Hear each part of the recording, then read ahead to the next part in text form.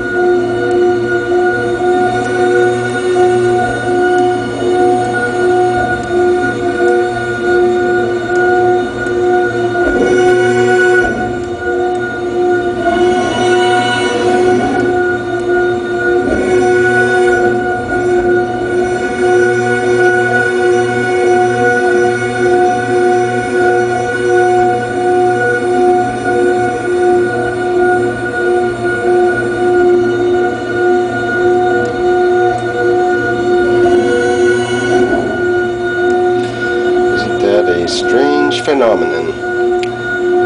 Well, I'm open to ideas on what might be causing that particular uh, interference pattern, resonant harmonic,